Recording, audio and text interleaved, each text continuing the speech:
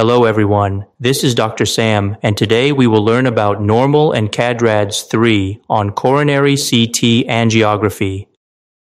CADRAD stands for Coronary Artery Disease Reporting and Data System. It's a reporting system which is used in coronary CT angiography that grades the severity of coronary artery disease and management depending on the severity of the disease. CADRADS 3 refers to moderate coronary artery disease.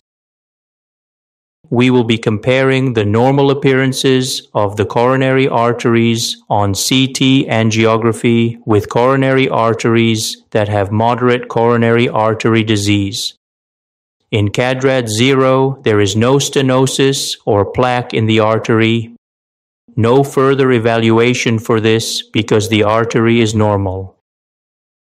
In CADRAD's three cases, there is a stenosis of 50 to 69% in any coronary artery.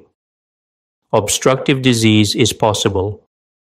On the left is an image of a normal left anterior descending artery. No hypodense or hyperdense plaque is seen in its lumen. On the right is an image showing a hyperdense calcified plaque which causes a stenosis approximately more than 50%. More than half of the lumen is narrowed due to this plaque. Plaque burden is P1. Only the proximal segment of the LAD has plaque. The other arteries were normal.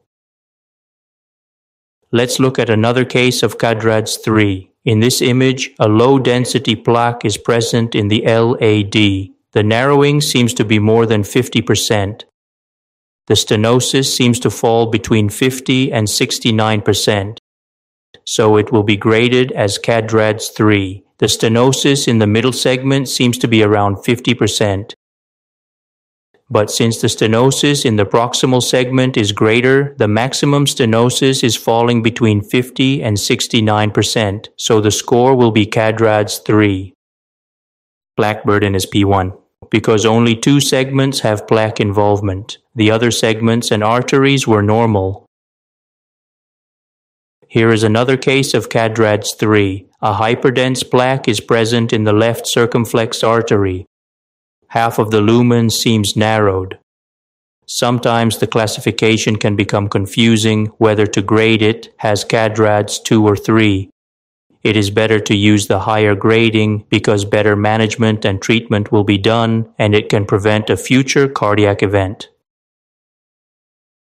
In this image, we can see calcified plaques in two areas in the first diagonal branch. This plaque is larger and seems to cause a stenosis of greater than 50%. This was classified as CADRADS 3. This low density plaque caused a stenosis between 50 and 69%. This case was also classified as CADRADS 3. Plaque burden was P1 because only one segment of the left anterior descending artery was involved. This low density plaque in the left anterior descending artery is causing a stenosis that is greater than 50% of the lumen, a small plaque also seems to be on the other wall of the artery. This was graded as CADRADS 3 P1.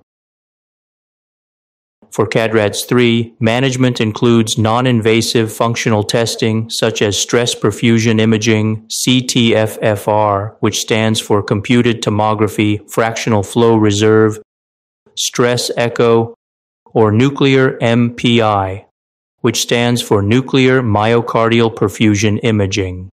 But if symptoms persist or high risk features are present, such as high plaque burden, then invasive coronary angiography is recommended. Medical therapy, including anti-anginal medications, statins, and risk factor control, are generally indicated. Lifestyle modification is very important. Thank you so much for watching. Stay tuned for more imaging videos.